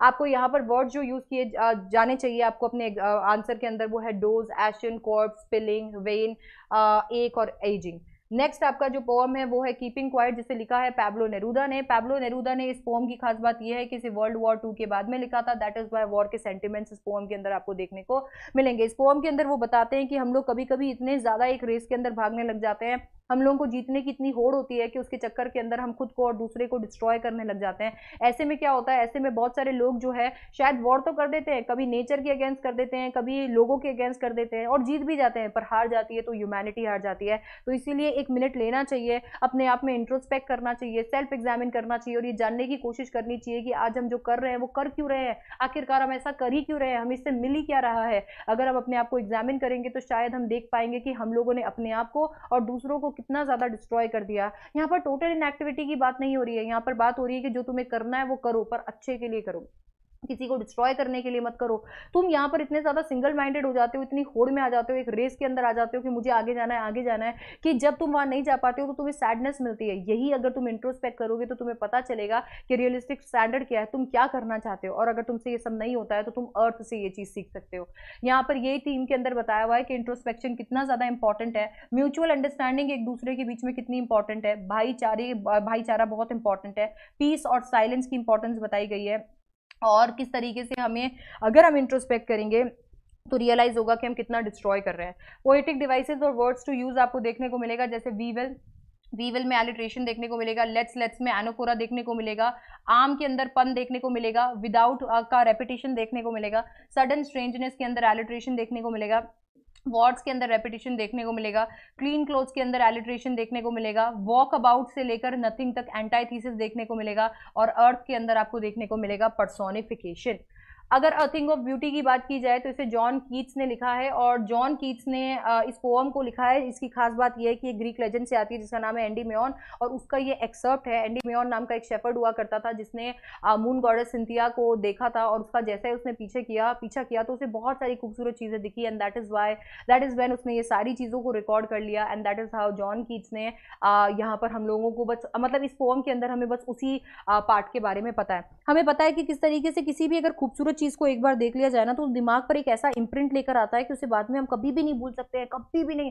जितनी बार सोचते जाएँगे उतनी बार वो हमें खुशी देती जाएगी लवलीनेस देती जाएगी उसकी खुशी ना कभी खत्म ही नहीं होती है। वो खुशी बढ़ती जाएगी बढ़ती जाएगी and that is when you know हम लोगों को मोटिवेशन मिलता है इंस्पिरेशन मिलता है। लाइफ के अंदर तो बहुत सारे यू नो चैलेंजेस आते ही रहते हैं बट खूबसूरत चीज़ें जो होती हैं uh, जो एक फीलिंग होती है वो हमें मोटिवेट करती है कि कोई बात नहीं तुम गिरे हो तो तुम फिर उठोगे। यहाँ पर बहुत सारी चीज़ें हैं जो हमें नेचर ने प्रोवाइड की हैं जो बहुत ज़्यादा खूबसूरत है। हमें तो ऐसा ही लगता है कि ज़िंदगी में खूबसूरती है, पर मौत में भी खूबसूरती है। सोचो, वो लोग जो कि अपने देश के लिए, अपने लोगों के लिए जान दे देते हैं, हँसते, खेलते अपनी जान दे देते हैं, उनकी तो शहीद होना भी कितना ज़्यादा ग्लोरीफाइंग है, कितना ज़्यादा खूबसूरत है। और ऐसे ही खूबसूरत चीज़ों से हमारा पूरा का पूरा संसार भरा हुआ है, और ये सब कुछ हमें प्रोवाइड किया है भगवान जी ने, ताकि से एक तरफ़ अगर हम चैलेंजेस को फाइट कर रहे हैं तो दूसरी तरफ़ उन्हें फाइट करने की हमें हिम्मत भी मिलते जा रही है। तो हमें पता चलता है यहाँ पर कि खूबसूरत चीज़ें जो होती है, वो जॉय फॉर एवर देती है एवर लास्टिंग जॉय लेकर आती है। नेचर के बारे में बात की गई है।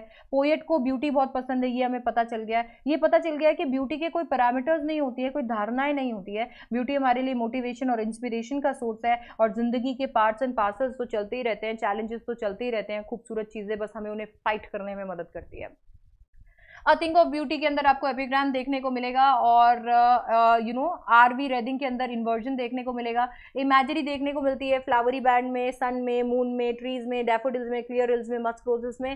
फ्लावरी बैंड के अंदर आपको मेटाफर देखने को मिलेगा ऑफ़ ऑफ़ में एनाफोरा देखने को मिलेगा कूलिंग कवर्ट में एलिट्रेशन देखने को मिलेगा माइटी डेड में ऑक्सीमोरॉन देखने को मिलेगा और राइम स्कीम है ए ए बी बी सी इसके साथ में रोड साइड स्टैंड जिसको रॉबर्ट फ्रॉस्ट ने लिखा है। रॉबर्ट फ्रॉस्ट यहाँ पर किस चीज़ के बारे में बात करते हैं? बात करते हैं कि किस तरीके से दुनिया दो भागों में बटी हुई है। एक साइड जहाँ पर आपको ऐसे लोग देखने को मिलते हैं जिन्हें भगवान ने बहुत कुछ दिया है, बहुत सारी अपॉर्चुनिटीज़ दी है। दूसरी तरफ़ ऐसे लोग देखने को मिलते हैं जिनके पास में दो वक्त का खाना भी नहीं है और कोई अपॉर्चुनिटी नहीं है, कोई चारा नहीं है जहाँ से वो एक्चुअली वो खाना लेकर आ सके।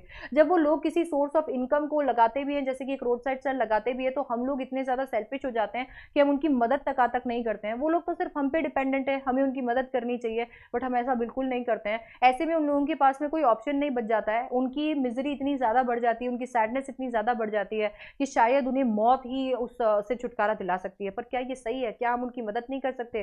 क्या हम उन प्रोमिस को फुलफिल नहीं कर सकते जो हम लोग उन्हें करते हैं? क्या हम एक बार अपने फ़ायदे के बारे में ना सोच के उनके फ़ायदे में नहीं सोच सकते? क्या हम लोग एक छोटी सी हेल्प उनकी नहीं कर सकते क्योंकि हमारी छोटी हेल्प भी उनके लिए बहुत बड़ी हो सकती है? ये चैप्टर बस ये पोम इसी बारे में बात करता है कि पथेटिक कंडीशन के अंदर कैसे गरीब लोग रहते हैं डिप्राइव लोगों के बारे में बात की जाती है हैव्स एंड हैव नॉट्स के बारे में बात की जाती है, हम जो लोग सिटी में रहते हैं, कितने ज़्यादा सेल्फिश है इसके बारे में बात की जाती है अर्बनाइजेशन के बारे में बात की गई है परपेचुअल स्टेट ऑफ़ पावर्टी किस तरीके से गरीबी जो है वो परपेचुअल है हेल्पलेसनेस ऑफ़ द पुअर के बेचारे, उनको आप नहीं मतलब वो बेचारे ऐसे हो गए हैं कि उनकी मदद आप करो पर, उनके पास में और कोई चारा ही नहीं है। इनोसेंस और उनका विल पावर उनका होप जो है वो यहाँ पर दिखाया जाता है कि हर बार उम्मीद उनकी टूटती है, पर फिर भी वो खड़े हो जाते हैं। यहाँ पर आपको कुछ पोएटिक डिवाइसेस देखने को मिलेंगे, जैसे कि कॉन्ट्रास्ट देखने को मिलेगा लिटिल ओल्ड हाउस के अंदर और न्यू शेड के अंदर परसोनिफिकेशन देखने को मिलेगा रोड साइड स्टैंड में एलिट्रेशन देखने को मिलेगा पथेटिकली प्लेड में मेटाफर देखने को मिलेगा फ्लावर ऑफ़ सिटीज़ में ट्रांसफर्ड एपिथेट देखने को मिलेगा पॉलिश कार ट्रैफ़िक में, और और में देखने को मिलेगा एनाफोरा एलिट्रेशन और ऑक्सीमोरॉन दोनों देखने को मिलेगा ग्रीडी गुड डूअर्स और बेनिफिसेंट बीस्ट ऑफ़ पे में ट्रांसफर्ड एपिथेट देखने को मिलेगा सेल्फिश कार्ड्स के अंदर। नेक्स्ट आपकी पोम है आंट जेनिफर्स टाइगर जिसे एड्रीन रिच ने लिखा है। एड्रीन रिच इस पोम के अंदर हमें बताती है कि किस तरीके से ये पूरी की पूरी सोसाइटी जो है मेल डोमिनेटिंग पेट्रियाकल सोसाइटी जो है, वो एक औरत को विक्टिमाइज करती है। उसकी चुप्पी आ, का कारण बन जाती है वो अपने डिज़ायर्स को अपने फ्रीडम को बिल्कुल भी नहीं अटेन कर सकती है वो इतना फ्री नहीं रह सकती है और इस पोम के अंदर हमें ये भी बताया गया है कि किस तरीके से सिर्फ़ डेथ ही है जो हमें उससे फ्री कर सकती है। इस पोम में बताया गया है कि किस तरीके से आन जेनिफर जो है वो अपने डिज़ायर्स को टाइगर के रूप के अंदर बनाने की कोशिश तो कर रही है पर ये जो बर्डन है उनके रिस्पॉन्सिबिलिटीज़ का सोसाइटी का हस्बैंड का ये उन्हें वो करने नहीं दे रहा। शायद मरते वक्त तक भी ये वो नहीं कर पाएँगी। हमेशा वो जुड़ी रहेगी उस अंगूठी अंगूठी के साथ में जो कि उनके ऊपर ये प्रेशर डालता रहता है उन्हें सप्रेस करता रहता है। शायद वो तो एक दिन मर जाएगी, पर उनके टाइगर्स इसी तरीके से प्रांस करते रहेंगे, वो निडर रहेंगे, वो करेजियस रहेंगे, वो फ्री रहेंगे। इसका थीम है मेल डोमिनेंस इसके साथ में हमें पता चलता है औरतों को विक्टिमाइज यहाँ पर किया गया है। ऑपरेशन जो है पेट्रियागी का, वो यहाँ पर बताया गया है। रिस्पॉन्सिबिलिटीज के बर्डन के बारे में बात की गई है। टॉक्सिक रिलेशनशिप्स के बारे में बात की गई है और बताया गया है कि किस तरीके से लोग मर जाते हैं, पर उनकी आर्ट सदैव ही ज़िंदा रहती है। आर्ट जेनिफर यहाँ पर सिंबोलिज्म है। ब्राइट टोपाज मेटेफर है। दे दे में आपको एनाफोरा देखने को मिलेगा। फिंगर्स क्लटरिंग में एलिट्रेशन अंकल्स वेडिंग बैंड में सिंबोलिज्म है। हैंड में आपको सेनिक डेकी और ट्रांसफर्ड एपिथेट देखने को मिलेगा। रिंग्ड के अंदर आपको पन देखने को मिलेगा और प्रांसिंग प्राउड के अंदर मिलेगा आपको एलिट्रेशन इसके साथ में थर्ड लेवल की अगर हम बात करें तो इसे जैक फिनी ने लिखा है। जैक फिनी ने इसे साइफाई जॉनरे में लिखा हुआ है। ये ओपन एंडेड है, आप अपने आप से इंटरप्रेट कर सकते हो। यहाँ पे प्रोटैगनिस्ट चार्ली है। चार्ली जो कि दुनिया से थक चुका है, खत्म हो चुकी है उसकी सारी की सारी उम्मीदें इस दुनिया से, क्योंकि ये दुनिया ने आखिरकार किया ही क्या है? ये दुनिया सिर्फ़ और सिर्फ़ आपको वरीज देती है इनसिक्योरिटीज देती है वॉर देती है दुख दर्द देती है। एंड दैट इज़ वाई वो प्रेजेंट में रहना ही नहीं चाहता है। यार, वो पास में चले जाना चाहता है। वो एकदम से गुम गुम जाना चाहता है। उस टाइम में जब ये सारी चिंताएँ नहीं हुआ करती थी। एंड दैट इज़ वेर वो हेलुसिनेशन शुरू कर देता है, उसके द्वार, उसके लिए द्वार खुल जाते हैं टाइम ट्रैवल के। एक बार की बात है कि वो यू नो घर जाना चाह रहा होता है, इतने में वो थर्ड लेवल के अंदर चला जाता है, जहाँ की दुनिया एकदम ही अलग होती है, क्योंकि वो 1894 में ट्रैवल कर लेता है। उसे वहाँ जाना होता है, क्योंकि वो 1894 के गेल्सबर्ग में जाना चाहता है, जहाँ पर लाइफ कितनी ज़्यादा सिंपल थी, कितनी पीसफुल थी वॉर बहुत ज़्यादा दूर था। उसकी टिकट लेना चाहता है बट उसके पास में वो वाले पैसे नहीं होते करेंसी नहीं होती एंड दैट इज़ वाई वो वापस प्रेजेंट में आ जाता है। इसके बाद में जब वो पैसे तो ले आता है तो उसे थर्ड लेवल नहीं मिलता है। वो बेचारा ढूंढ रहा होता है बट देन उसके बाद में वो भी हार मान जाता है। अब अपना काम वापस करने लग गया है, अपने स्टैम्प कलेक्शन के ऊपर ध्यान देने लग गया है। इतने में उसे पता चलता है कि उसके स्टैम्प कलेक्शन के अंदर एक ऐसा ऑनवलॉप है जो वहाँ पर नहीं था। अभी तक उसने सारे स्टैम्प्स को अच्छे से देखा हुआ ये ऑनवलॉप वहाँ पर नहीं था। उस ऑनवलॉप को जब वो खोलता है तो एक चिट्ठी उसके दोस्त से मिली होती है, जहाँ पर बताया जाता है कि वो जो है उसका दोस्त यू नो थर्ड लेवल के अंदर पहुँच गया है। थर्ड लेवल सच में एग्जिस्ट करता है और चार्ली और लुइजा को भी ढूंढना चाहिए और फटाफट वहाँ पर आ जाना चाहिए। और इसी के बाद में चार्ली और लुइजा थर्ड लेवल को ढूँढने लग जाते हैं। आपको यहाँ पर देखने को मिलेगा हार्श रियलिटी और प्रेजेंट रियलिटी कितनी खराब है, कितनी दुखदाई है प्रेजेंट टाइम्स में। एस्केपिज्म का थीम देखने को मिलेगा टाइम ट्रैवल देखने को मिलेगा वॉर ह्यूमन प्रेडिकमेंट लेकर आता है। इमेजिनेशन और हेलिसिनेशन का थीम देखने को मिलेगा और टेम्प्रेरी रेफ्यूज फ्रॉम रियलिटी देखने को मिलेगा। हम फ़ोटोज़ के फॉर्म में वीडियोज़ के फॉर्म में भी टेम्पररीली चले जाते हैं पुराने ज़माने में राइट इसके बाद में आता है आपके कैरेक्टर्स अब कैरेक्टर्स के अंदर आपको देखने को मिलेगा चार्ली चार्ली जो है ये सबसे ज़्यादा इंपॉर्टेंट कैरेक्टर है। अब ये इंपॉर्टेंट कैरेक्टर है, इसके अंदर आपको मॉडर्न मैन देखने को मिलेगा। ये मॉडर्न मैन है, एक ड्रीमर है एस्केपिस्ट है इमेजिनेटिव है स्टैम्प कलेक्ट करता है, बहुत ही अनहैप्पी है सिंपल है, अपनी वाइफ को बहुत पसंद करता है इनसिक्योर है। यू नो से एक आइडलिक वर्ल्ड चाहिए, एक ऐसा पीसफुल वर्ल्ड चाहिए, जिसके अंदर ये सारी के सारे प्रॉब्लम्स ना हो। एंड बहुत ही ज़्यादा ऑब्जर्वेंट है छोटी छोटी डिटेल्स भी हमारे तक लेकर आता है। यहाँ पर आप शब्द का इस्तेमाल कर सकते हो, जैसे कि थर्ड लेवल थर्ड लेवल यहाँ पर हर जगह यूज़ आएगा। इसके साथ में एस्केप जो है, वो एक ऐसा वर्ड है, जो कि आपको हर जगह पे यूज़ करना पड़ेगा।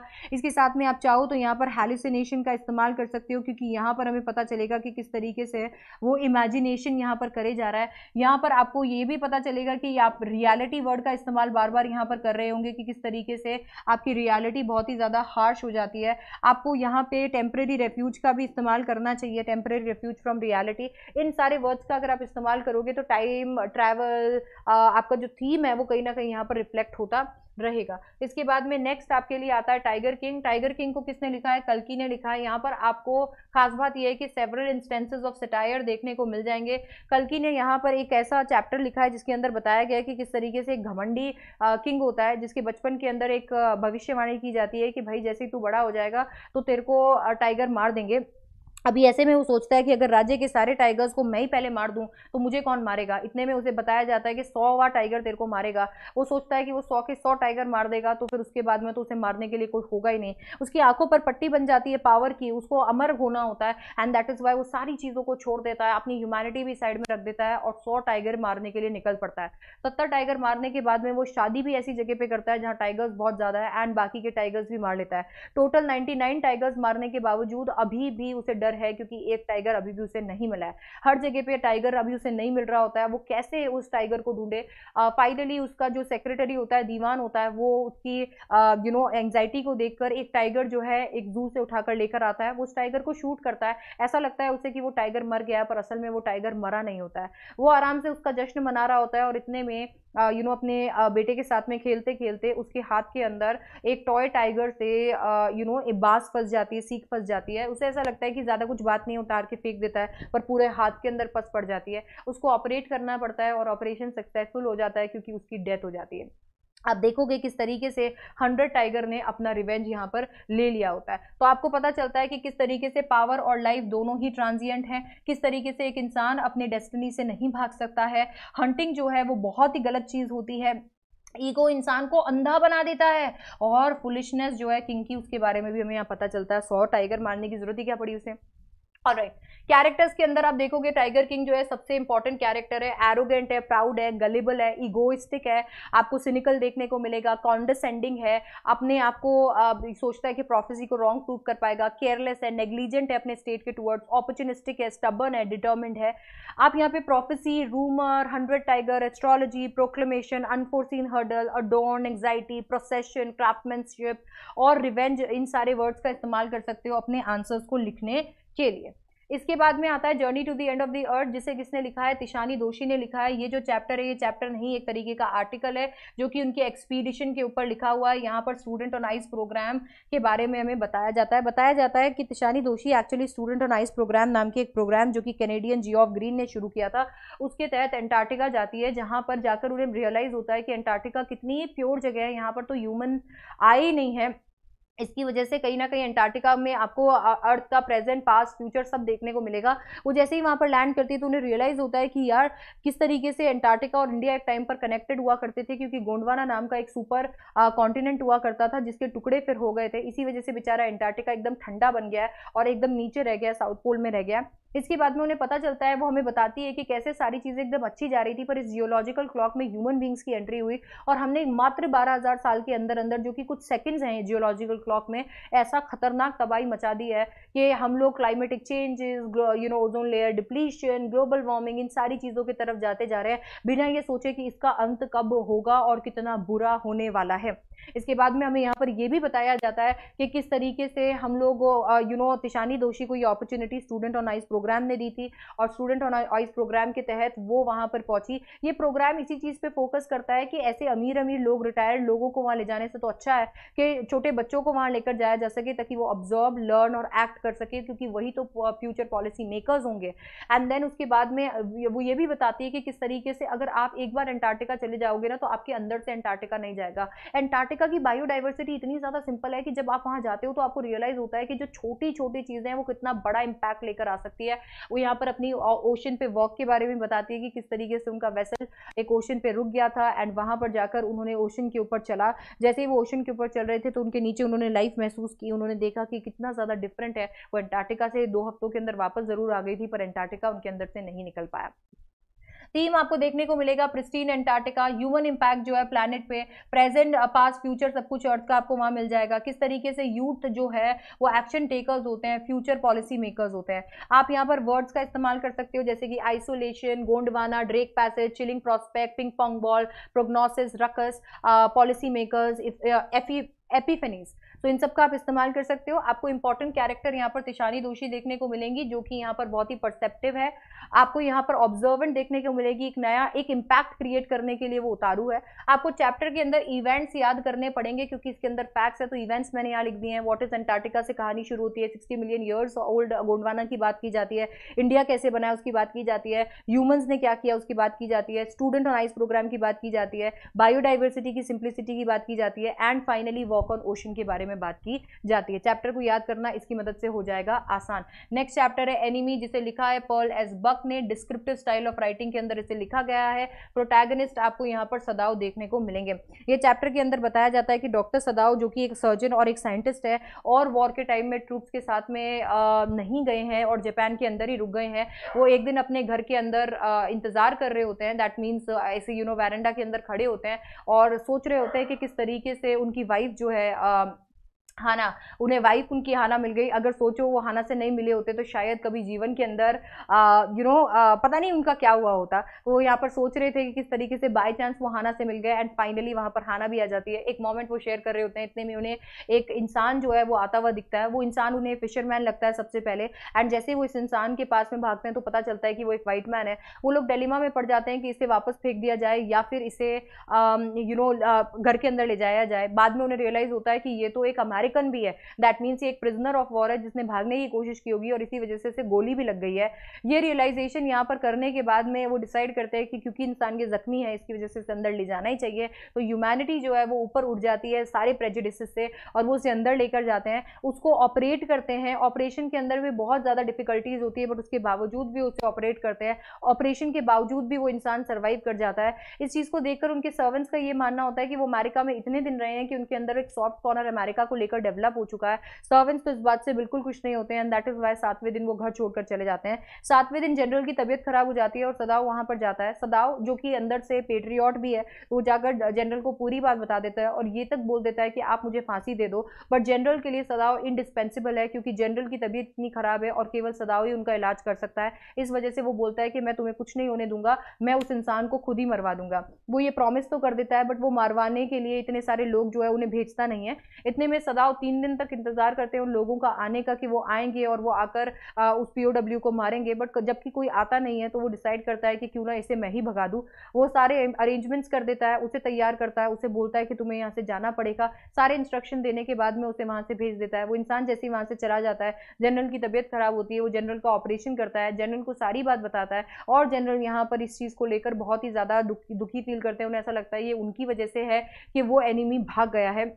सदा उन्हें रिजोरेंस देता है कि कोई दिक्कत नहीं है। मैं किसी के सामने अपना मुँह नहीं खोलूँगा। जनरल उन्हें रिवॉर्ड करने की बात करते हैं, पर सदाओ को कोई रिवॉर्ड की रिक्वायरमेंट नहीं है। क्योंकि जैसे उसने ये देख लिया है कि वो इंसान जो है वहाँ पे अब जा चुका है, वो एकदम सेफ़ है सर्वेंट्स घर पर वापस आ चुके हैं तो सदाओ को सब कुछ मिल गया है। पर सदाओ इतना ज़्यादा कन्फ्यूज़ है कि एक दिन जब वो वैरेंडा में खड़ा होता है और वहीं देख रहा होता है जहाँ से वो इंसान आया था तो उसके सामने सारे के सारे वो लोग आ जाते हैं, जो सारे लोगों ने उसके साथ में डिस्क्रिमिनेशन किया था, उसका, उसके अंदर गुस्सा भर जाता है। अब आपको यहाँ पर तीन में देखने को मिलता है नेशनलिज्म आपको देखने को मिलता है किस तरीके से ह्यूमैनिटी और प्रोफेशन जो है आ, आ, वो यहाँ पर इंपॉर्टेंट है। हमें देखने को मिलता है कि किस तरीके से वॉर सिचुएशन हमें कहाँ लाकर खड़ा कर देती है। सबसे इंपॉर्टेंट थीम है कि आप आप यू नो आप ऊपर उठते हो छोटी छोटी चीज़ों से और ह्यूमैनिटी को सबसे ऊपर रखते हो। प्रेजिडिस जो कि वॉर क्रिएट करता है उसके बारे में बताया गया है। बताया गया है कि कितना ज़्यादा एथिक्स जो है वो मेडिकल प्रोफेशन के साथ में जुड़े हुए हैं। साथ ही साथ में ड्यूटी और कॉन्शियंस के बीच में कभी कभी लड़ाई जंग छिड़ जाती है। और डॉक्टर सदाव जो कि इंपॉर्टेंट कैरेक्टर है, वो मॉरली कॉन्शियस है पेट्रियाटिक है कंफ्यूज है डिटर्मिंड है, एक डॉक्टर है पहले। सारे प्रेजुडिस से ऊपर उठे हुए हैं, अंदर उनकी इंसानियत है केयरफुल है डिलीजेंट है अपॉर्चुनिस्टिक है, अपने फैमिली को पहले रखते हैं एथिकल है डेयरिंग है। जबकि अगर हम हाना की बात करते हैं तो हाना कंपैशनेट है कंसिडरेट है प्रूडेंट है, एक अच्छी वाइफ है सपोर्टिव भी है। जनरल की अगर हम बात करते हैं तो वो बहुत ही ज़्यादा सेल्फिश है गलेबल है वायलेंट है अपने अपने आप से भरा हुआ है और बहुत ही बीमार है। वर्ड जिनका हम इस्तेमाल कर सकते हैं, वो है wounded unconscious duty operate sympathetic irony frustrated bullet ruthlessly stoop insistent condemned और डिस्पाइज इन वर्ड्स में हम अपने आंसर्स को लिख सकते हैं. नेक्स्ट सबसे इंपॉर्टेंट चैप्टर आपका है on the face of it जिसे लिखा है किसने? सूजन हिल ने जॉनरे इसका है प्ले यहाँ पर प्रोटैगनिस्ट आपको डेरी और मिस्टर लैम देखने को मिलेंगे. डेरी जो कि एक चौदह साल का बच्चा है मिस्टर लैम के गार्डन के अंदर एंटर कर देता है. मिस्टर लैम जो कि उसे वहाँ पर रोकते हैं क्योंकि उन्हें लग रहा होता है कि बच्चा डरा हुआ है. डेरी बताता है कि वो डरता नहीं है. इनफैक्ट लोग उससे डरते हैं क्योंकि उसका फेस जला हुआ है और एसिड के उस साइड ऑफ़ फेस पे गिर गया था, जिसकी वजह से उसकी ज़िंदगी ज़िंदगी पूरी तरीके से तबाह हो गई है, ज़िंदगी पूरी तरीके से ख़त्म हो गई है। अब ऐसे में डेरी को मोटिवेट करते हैं मिस्टर लैम। मिस्टर लैम उसे बताते हैं कि ऐसा नहीं है, ये सब कुछ परसेप्शन से होता है। मिस्टर लैम उसे उसे एक नया नज़रिया देखते हैं देते हैं दुनिया को देखने का, एक नया परसेप्शन देते हैं। उसे बताते हैं कि कितना इंपॉर्टेंट है लोगों से प्यार करना, भगवान की हर चीज़ को जो भगवान ने बनाया है, उससे प्यार करना, अपने आप से प्यार करना, आप जैसे हो उसे एक्सेप्ट करना, अपनी खामियों को भी एक्सेप्ट करना, क्योंकि वही आपको इंसान बनाता है। ये कैसी दुनिया होगी जिसके अंदर सारे लोग जो है वो सेग्रीगेशन के साथ में रहें? तो ये दुनिया तुम्हारी दुनिया है और तुम्हें लोगों से डरने की ज़रूरत नहीं है। लोग जो कहे उन्हें कहने दो, उनकी बातों को मानने की भी ज़रूरत नहीं है। तुम खुलकर जियो। वो कहीं ना कहीं ये चीज़ उसे सिखाते हैं। दोनों के बीच में कॉन्वर्जेशन होती है कि डेरी वापस नहीं आने वाला है मिस्टर लैम की मदद करने के लिए बट डेरी वापस आना चाहता है। एंड दैट इज़ वैन वो अपने घर जाता है और घर जाकर अपनी मम्मी को बताता है कि वो मिस्टर लैम के पास वापस जाएगा, क्योंकि उसका परसेप्शन अब चेंज हो चुका है। अब वो अपने फेस के बारे में नहीं सोचता है। अब वो इस बारे में सोचता है कि अगर मिस्टर लैम, जो कि टिन लेग के साथ में जी रहे हैं, इतना टाइम उन्होंने अपने आप निकाला, इतने सारे लोगों को फेस किया, उन्हें कोई फ़र्क नहीं पड़ता कि लोग उन्हें क्या कहते हैं तो मैं भी ऐसा कर सकता हूँ। वो मिस्टर लैम के पास में चला जाता है। मिस्टर लैम तब तक गिर चुके होते हैं। यू नो एप्पल तोड़ते तोड़ते उनके साथ एक एक्सीडेंट हो जाता है, उनकी लैडर स्लिप हो जाती है, उनकी मौत हो जाती है। डेरी वहाँ पर जब एंटर करता है मिस्टर लैम को अपनी गोद में रखता है और वहाँ पर बहुत ज़ोर ज़ोर से रोने लगता है, जो हमें ये बताता है कि डेरी एक बहुत अच्छा दोस्त था, वो वापस आया था, पर मिस्टर लैम उसे देखने के लिए ज़िंदा नहीं रहे थे। मिस्टर लैम ने कितना इम्पैक्ट जो है डेरी की ज़िंदगी पर डाला। डेरी की ज़िंदगी यहाँ पर बदल दी है। डेरी की ज़िंदगी का टर्निंग पॉइंट बन गया है मिस्टर लैम से मिलना। तो यहाँ पर हमें पता चलता है कि किस तरीके से लोग जो बेचारे डिसेबिलिटीज़ वाले होते हैं, वो बहुत लोनलीनेस और मेंटल पेन से सफ़र करते हैं। यहाँ पर एक सेंस ऑफ़ लॉस इन्वॉल्व है। आपको देखने को मिलेगा कि ये कहानी आइसोलेशन और एलियनेशन की है। ये सोसाइटी जितना ज़्यादा शायद फ़िज़िकल पेन किसी इंसान को नहीं होता, ये सोसाइटी उसे एलिनेटेड फील करा करा के उतना पेन दे देती है। किस तरीके से हर चीज़ के टूवर्ड्स हमारा परसेप्शन बहुत मैटर करता है और अपियरेंस पॉजिटिविटी के बारे में भी ये चैप्टर बात करता है कि आप जैसे दिखते हो, आप जैसे भी हो, आप बेस्ट हो। कैरेक्टर्स में मिस्टर लैम आपको देखने को मिलेगा। कैरेक्टर की अगर बात करते हैं मिस्टर लैम की तो वो बहुत ही परसेप्टिव है वाइस है यू नो उनका एक टिन लेग है एक्सपीरियंसड है मेच्योर है लोनली है ऑप्टोमिस्टिक है नेचर को पसंद करते हैं, बहुत ही ओपन है, बहुत ही फ्रेंडली है पिक्यूलियर बातें करते हैं, बहुत ही अंडरस्टैंडिंग है पोलाइट है सेटिस्फाइड है, बहुत ही पॉजिटिव है।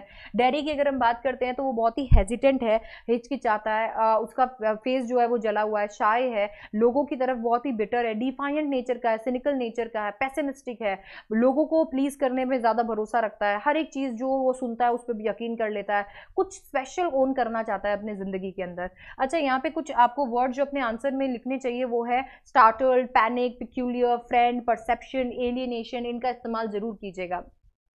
नेक्स्ट और आपका लास्ट चैप्टर है मेमोरीज ऑफ़ द चाइल्डहुड जो कि किसने लिखा है? जितकाला शाह और बामा ने लिखा है। ऑटोबायोग्राफिकल अकाउंट आपको यहाँ पर देखने को मिलेंगे।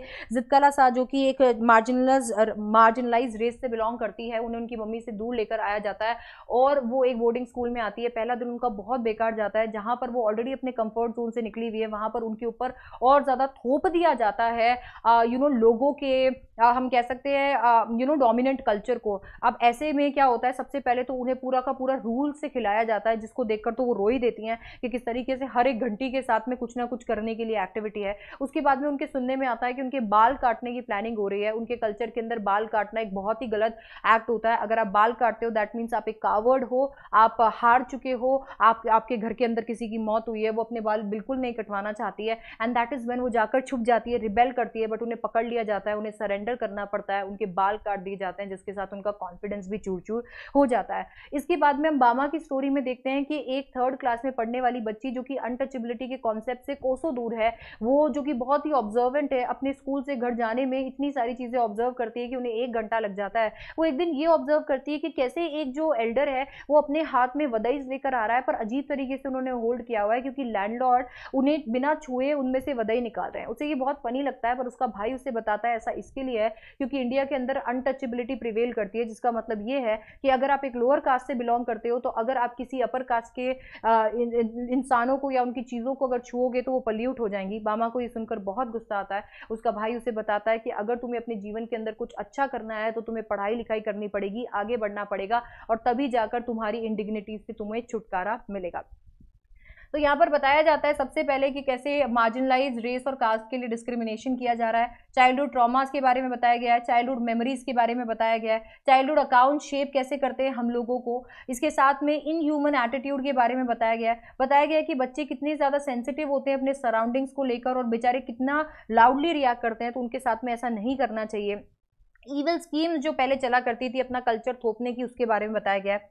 बताया गया है कि सफरिंग्स और ऑपरेशन जो है वो कैसे लोगों के साथ में किया जाता है। जब लोग ऐसा सोचते हैं कि उनका कल्चर ज़्यादा डोमिनेंट है और वो आ, उनके कल्चर को लोगों को एक्सरसाइज करना चाहिए। जितका लसा का कैरेक्टर आपको बहुत स्ट्रॉन्ग कैरेक्टर देखने को मिलेगा। डकोता रेस से वो बिलोंग करती है सेंसिटिव है डिफाइंट है मेंटली ट्रामेटाइज है रिबेलियस है बहुत ही ज़्यादा कल्चरल है डिस्टर्ब है ऑप्शनेट है प्रोटेस्ट करती है अपने बालों को कटवाने के खिलाफ। अपने उनको सरेंडर करना पड़ जाता है। बहुत ही इंडिग्निटीज फेस करती है पर वो कंपैशनेट है बहुत बहुत ही इंटेलिजेंट है।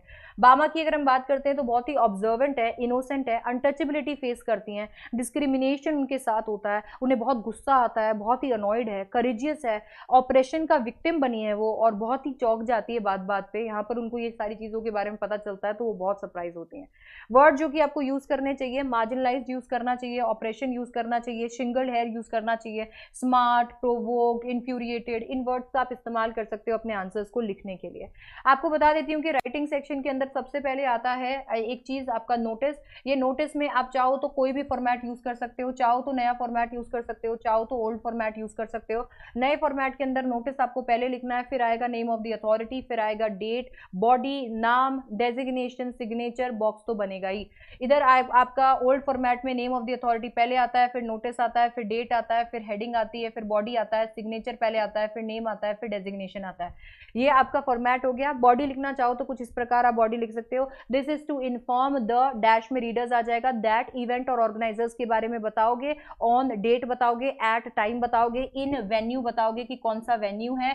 और कॉल फॉर एक्शन दोगे, लोगों को सबमिट करना है, नाम देने हैं, क्या है। और लास्ट में लिखोगे for more information contact the undersigned next है आपका इनविटेशन आप इसे कार्ड में भी लिख सकते हो लेटर में भी लिख सकते हो। कार्ड तब बनाया जाता है जब बहुत सारे लोगों को लिखना होता है। लेटर तब बनाया जाता है जब किसी एक को लिखना होता है। फॉर्मल इन्विटेशन थर्ड पर्सन में लिखा जाता है। फॉर्मल रिप्लाई फ़र्स्ट और थर्ड दोनों पर्सन में लिखा जा सकता है। इनफॉर्मल इन्विटेशन और रिप्लाई पे ये रूल अप्लाई नहीं होता है। ठीक है फॉर्मेट अगर हम कार्ड के फॉर्मेट की बात करते हैं तो यहाँ पर आपको बॉक्स बनाना होता है। आप नाम लिखते हो होस्ट का या इन्विटेशन एक्सटेंड करते हो पर्पज देते हो इन्विटेशन का डेट टाइम वेन्यू बताते हो स्पेसिफिक इन्फॉर्मेशन देते हो आरएसवीपी लिखते हो। अगर आप यहाँ पर फॉर्मल इन्विटेशन लेटर के फॉर्मेट में लिखते हो तो फॉर्मल लेटर का फॉर्मेट आता है, जिसमें आता है sender's address date receiver's address subject salutation body yours और नेम अगर आप इनफॉर्मल इन्विटेशन या रिप्लाई लिखते हो तो यहाँ पर इनफॉर्मल लेटर लिखना पड़ता है, जिसका फॉर्मेट है sender's address date salutation body yours और आपका नाम. यहाँ पर मैंने आपको सारी की सारी पेटेंट बॉडीज भी दे दी है. जैसे कि अगर आप फॉर्मल इन्विटेशन की बॉडी चाहते हो तो इस तरीके की आपकी बॉडी दिखेगी. नेम ऑफ़ द होस्ट आएगा will be obliged if guest could spare some time from his or her busy schedule to be reason देना है. एट इवेंट इवेंट बताना है to be held on date देना है time देना है venue देना है। Kindly confirm the acceptance by date देनी है कि जब तक आप एक्सेप्ट कर लीजिए ऑब्लाइज थैंक यू ये हो गया फॉर्मल इन्विटेशन की बॉडी इनफॉर्मल इन्विटेशन की बॉडी में आ सकता है। यू नो इवेंट को डिस्क्राइब करो। It gives me great pleasure to invite you to event को डिस्क्राइब करो। वेन्यू बताओ डेट बताओ। मैसेज दो कि मैं कितना एक्साइटेड हूँ तुमसे मिलने के लिए। एंड फाइनली एक लाइट नोट पे बोलो do join us I be waiting for your reply अगर आप फॉर्मल रिप्लाई की बॉडी की बात करो तो फॉर्मल रिप्लाई को आप थर्ड पर्सन और फ़र्स्ट पर्सन दोनों में लिख सकते हो। ये पेटेंट बॉडी जो एक्सेप्टेंस और डिक्लाइन की है थर्ड पर्सन के अंदर लिखी हुई है। यहाँ पर थर्ड पर्सन प्रोनाउंस को चेंज करके आप फ़र्स्ट पर्सन में कन्वर्ट कर दोगे तो सेम बॉडी फ़र्स्ट पर्सन में भी आ जाएगी। तो एक्सेप्टेंस में आप लिख सकते हो सेंडर का नाम has much pleasure in accepting the kind information of नाम बताओगे होस्ट का टू द इवेंट इवेंट दोगे डेट दोगे थैंक यू इसके बाद में आ जाएगा डिक्लाइन डिक्लाइन के अंदर सेंडर थैंक्स होस्ट का नाम दोगे. For their kind invitation to the event बताओगे डेट बताओगे. But regrets his or her inability to attend the attend because of prior engagement he or she conveys best wishes ये हो गया आपके declining की बॉडी इतना ही लिखना होता है क्योंकि पचास वर्ड की वर्ड लिमिट है। इसके बाद में अगर इनफॉर्मल रिप्लाई की बॉडी बात करते हो तो एक्सेप्टेंस और रिजेक्शन इसकी बॉडी अलग अलग है। एक्सेप्टेंस में आप लिख सकते हो I have receive your invitation for the event to be held on date और टाइम बताओगे एट वेन्यू बताओगे। I am extremely happy to know event के बारे में। I would like to confirm my presence looking forward और conclude कर दोगे happy note पे। इसके बाद में आप रिजेक्ट भी यहाँ पर कर सकते हो। बोलोगे I feel honour to be invited to attend event बताओगे please accept my thanks and congratulation unfortunately due to some unavoidable previous commitments I shall not be able to attend event बताओगे best wishes all right letter to editor और job application का एक ही format रहता है, क्योंकि दोनों ही formal letter के अंदर लिखे जाते हैं। ये रहा आपका format sender's address date receiver's address subject salutation body yours और नेम आपको बता देती हूँ कि जब अगर आप लेटर टू एडिटर की बॉडी लिखोगे तो याद रखना, आप शुरुआत कर सकते हो through the columns of your esteemed newspaper I would like to raise my concern और फिर प्रॉब्लम बता सकते हो। तीन पॉइंट्स यहाँ पे प्रॉब्लम्स कॉजेज इफेक्ट्स इन सब के बारे में बता सकते हो। तीन एक पॉइंट आप सोल्यूशन सजेशन और होप के दे सकते हो। एंड कंक्लूड कर सकते हो। ये लिखिए I request you to highlight the issue problem in your news job application की पेटेंट बॉडी आपके लिए मैम ने यहाँ तैयार की हुई है। मात्र आपको तीन जो है ब्लैंक्स भरने और आपका काम हो जाएगा। ये कि ये बॉडी आप चिपका के आ सकते हो। बॉडी कहती है, in this it, this is in response to your advertisement newspaper का नाम। डेटेड डेट लिखनी है। I wish to offer my candy, candidature for the position of position लिखनी है। I have the required qualification and experience in the set industry. I have also attach my attach और enclose my resume and certificates for your kind perusal I assure you that if selected, I shall work with utmost dedication and sincerity. I will be highly thankful to you if you shortlist me to for the interview तो सारी बातें जो हमें चाहिए वो हमने यहाँ पर लिख दी है। बायोडेटा के अंदर आपको चार चीज़ें पक्का मेंशन करनी है। पर्सनल इन्फॉर्मेशन और कॉन्टैक्ट डिटेल एजुकेशन क्वालिफिकेशन और एक्सपीरियंस स्किल्स और अचीवमेंट्स और रेफरेंस और डिक्लेरेशन ये सब कुछ आपको यहाँ पर अटैच करना है, क्योंकि बायोडेटा एक से ज़्यादा पेजेस में जाएगा बॉक्स बनाना कोई सेंस मेक नहीं करता। है इसके साथ में ये याद रखना कि एजुकेशन क्वालिफिकेशन में ज़रूर आपको टेबल बनानी पड़ेगी। Last but not the least आता है आपका लॉन्ग कंपोजिशन जिसमें आती है आर्टिकल राइटिंग फॉर्मेट काफ़ी आसान है हेडिंग डालनी है और बायलाइन डालनी है ऑथर का नाम आएगा। फिर आ जाएगी बॉडी जिसको तीन पार्ट में डिवाइड करना है। इंट्रोडक्शन दोगे टॉपिक का। डिटेल्स के अंदर प्रॉब्लम्स कॉजेज इशू बताओगे। सोल्यूशन कंक्लूजन के अंदर सोल्यूशन इफेक्ट्स और होप्स बताओगे। यहाँ पर ग्रामर में आपको ये ध्यान रखना पड़ेगा कि फ़र्स्ट पर्सन प्रोनाउंस आपको करने अवॉइड डायरेक्ट इनडायरेक्ट स्पीच में लिख सकते हो। एक्टिव वॉइस में लिखो। सिंपल टेंस का इस्तेमाल करो और सिंपल सेंटेंसेज या कंपाउंड सेंटेंसेज ही बनाओ। ज़्यादा कॉम्प्लेक्स बनाने की ज़रूरत नहीं है। रिपोर्ट दो तरीके की हो सकती है। Newspaper report magazine report newspaper report आती है तो हेडलाइन बायलाइन के बाद में डेट प्लेस के बाद में बॉडी आती है मैगजीन के फॉर्मेट में हेडलाइन बायलाइन और बॉडी आ जाती है। ये हो गया फॉर्मेट इसकी बॉडी के अंदर इंट्रोडक्शन में आप थोड़ा इशू बताते हो। डिटेल में what why when where you know how who whom whose बताते हो कॉन्क्लूजन के अंदर एक्सपीरियंस शेयर करते हो। ग्रामर में याद रखना है टेंस पास्ट टेंस रहेगा वॉइस पैसिव रहेगी स्पीच इनडायरेक्ट रहेगी पर्सन थर्ड पर्सन रहेगा और सेंटेंसेस जो है वो आपको रखने पड़ेंगे सिंपल इसके साथ में जो आपका रीडिंग कॉम्प्रहेंशन पैसेजेस है, उसके अंदर ध्यान रखिएगा कि सबसे पहले आपको स्किम करना है आपके पैसेज को। इसके साथ में आपको यहाँ पर फ़र्स्ट और लास्ट पैराग्राफ में आपका थीम मिल जाएगा। इसके बाद में एक एक क्वेश्चन के अंदर लीड वर्ड ढूंढिए और उन लीड वर्ड्स के अकॉर्डिंग अपने पैसेज में जाकर आंसर्स ढूंढिएगा। एलिमिनेशन का इस्तेमाल कीजिएगा ताकि से आपको पता चले कि मैं किसी ऑप्शन को ओमिट क्यों कर रहा हूँ या फिर मैं उसे हटा क्यों रहा हूँ। इससे आपको करेक्ट ऑप्शन तक पहुँचने में आसानी होगी। वो कैबलरी वाले क्वेश्चन को करने के लिए किसी भी सेंटेंस को अच्छे से रीड कीजिएगा। वहाँ पर आपको पता चल जाएगा कि इस वर्ड का क्या मीनिंग है, जिससे आपको ये पता चल जाएगा कि वो वर्ड वहाँ पर क्यों है। और उसी से आप सिनोनिम एंटोनिम जैसे क्वेश्चंस भी कर सकते हो। याद रखिए कि कुछ ऐसे वर्ड्स का ख्याल रखिए, जैसे कि an a the one two ताकि आपको पता चले कि यहाँ पर मार्क्स किस तरीके से एलोकेटेड होंगे और आंसर्स क्या मल्टीपल हो सकते हैं या सिंगल आंसर्स हो सकते हैं। तो ये था मेरा पूरा का पूरा इंग्लिश का रिविजन जो मैंने आपको करा दिया। ये सारी बातें जो मैंने आपको बताई है आपको याद होनी चाहिए। ये चीट शीट जो है, ये आपको मिल जाएगी मेरे टेलीग्राम पे, जो कि है लर्न विथ शिप्रा और आपको उसका लिंक मैं दे दूँगी डिस्क्रिप्शन में। तो इसके साथ में हमने इंग्लिश का रिवीजन सबसे फास्टेस्ट पॉसिबल तरीके से कर लिया है। आई होप आपको ये रिवीजन पसंद आया होगा एंड आई विश कि ये रिवीजन आपको मदद करे और आपका एग्ज़ाम बहुत अच्छा जाए। I wish you guys all the very best and also video को लाइक ज़रूर करिएगा। अपने फ्रेंड्स तक ज़रूर शेयर कीजिएगा एंड चैनल को सब्सक्राइब कीजिएगा अगर इस चैनल ने आपकी मदद की है तो। And I will see you in the next one thank you so much for watching bye bye take care